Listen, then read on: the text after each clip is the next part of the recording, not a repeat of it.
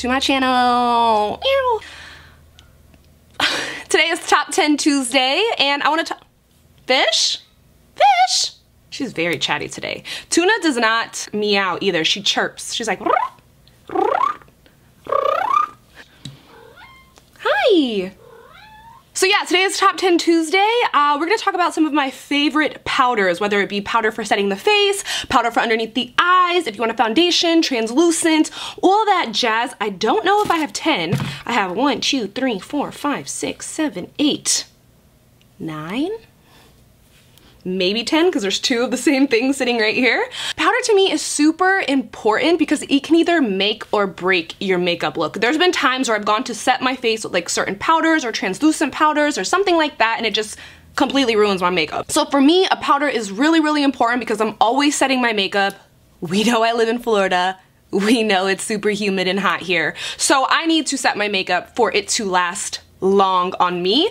Not only do I live in a hot climate, I'm also oily. So best of both worlds. But I wouldn't want to live anywhere that didn't have humidity because it's actually really, really, really, really good for your skin. So this is basically the first time I put makeup on my face since I've been home from India. I just had to take a couple days to kind of decompress. I talked about it a little bit on Snapchat. No. I talked about it a little bit on Instagram stories. Um, just like having anxiety. I've had it for a while um, and it, it, was just out of control when I was traveling. It was the longest I was gone um, from home so I just needed like a couple days to like decompress and just be my normal hermit crab self. Without further ado, wait this ring goes on this finger, okay? Mm. How cute is this little ring that I got the other day? It's from the last line and it's my birthstone so it's a little aquamarine. Can you even see is the light?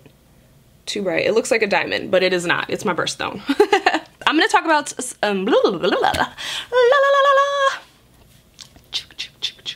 so the one that I use basically all the time now is the Ben Nye Fair powder. I feel like I've mentioned this quite a bit to you guys recently, um, but it's really such an amazing powder, especially like uh, for being on the less expensive side of powders. You really get a pretty good bang for your buck out of this. You get a ton of powder, first of all. I buy mine on Amazon. I use mine in Fair, which has a little bit of pink tint to it, which I like on my skin tone. This powder is super smoothing underneath the eye eyes. This is what I use to set underneath my eye. Let me clarify that in case you know you haven't watched any of my videos recently and you're like, where do you put this? So I use this guy just strictly underneath my eyes. I don't bake uh, underneath my eyes because I just find that on me it can look a little drying and I don't feel the need to bake. You know what I'm saying? So this guy is very smoothing underneath your eyes. I noticed that I get a very long wear out of it. I just really love all Ben Nye powders. The first one that I ever tried was the banana powder, which I feel like was kind of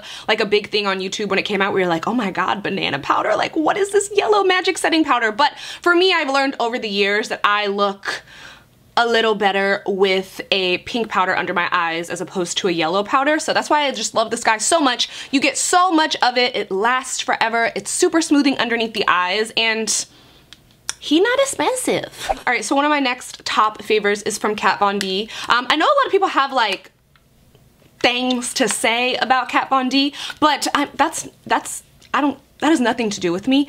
This foundation powder is still really, really good. As you can see, it is well, well loved. This is a foundation powder, and I do like to set my foundation with this because you know I like a full coverage look. Plus, sometimes I like to use a foundation powder if I feel like my foundation color is a little off because if your powder has a little color to it, you can kind of even it out and make it work for you. I always say that you can make any foundation color work regardless if you can just hit it with good concealer and good powder you can really make anything work in your favor. So I really love this guy. I love the color. I use it in medium 145. Even though it is a powder, you still look really smooth and it doesn't give like a dry appearance to the face, which is important with powder. Like even though I do powder the shit out of my face, um, I just feel like I never really look powdery with this guy. Plus, I always use a setting spray at the end of it. It's just gonna bring your skin back to life. Um, but absolutely love this guy. I use it all the time. You guys have seen it a lot in my videos recently.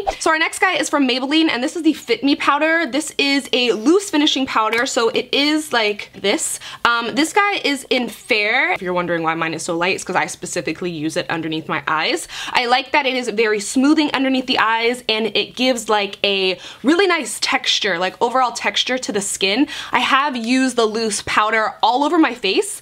Um, just for me personally, when I'm setting my makeup, I more so like to use like a press powder like this as opposed to a loose powder um, because I feel that I get more coverage out of a pressed powder than a loose powder and sometimes I find that I use more powder when it's loose if I'm setting my whole entire face. So that's why I like to use loose powder specifically for underneath my eyes and then a pressed powder for all over my face. So this guy I use in 5 which is super duper light um, so it's very brightening underneath your eyes as well. It looks very white on camera but it does have a little bit of that pinky tone that the Ben Nye powder has as well. And just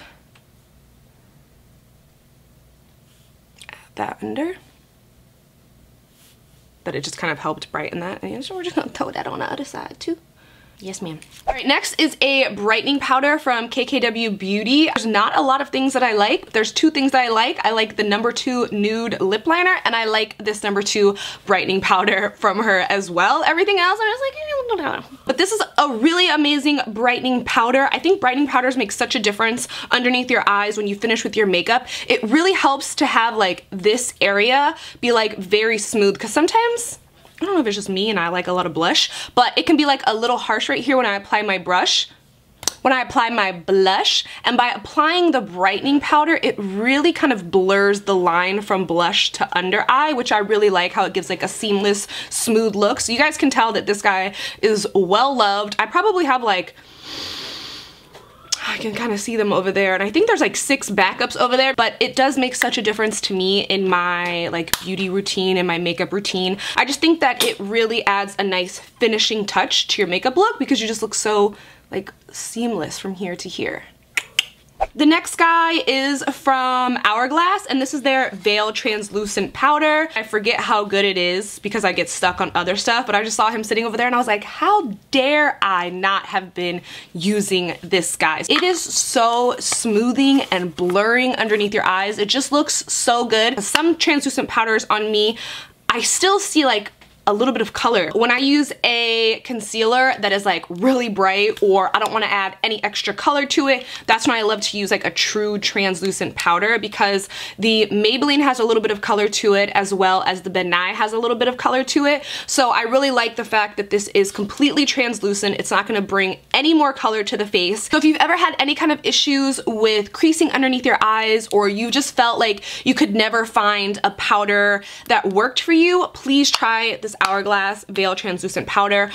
All right, the next guy is from Charlotte Tilbury, and this is the Flawless Airbrush Finish Powder.